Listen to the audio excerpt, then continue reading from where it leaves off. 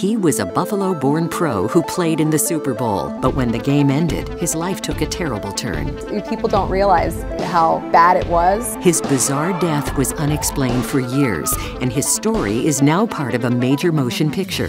For the first time, Two on Your Side Scott Brown talks one on one with his former wife about what happened and who may be responsible. Do you blame the NFL for Justin's death? I think there's a lot of people to blame. Two on Your Side, Thursday at 11.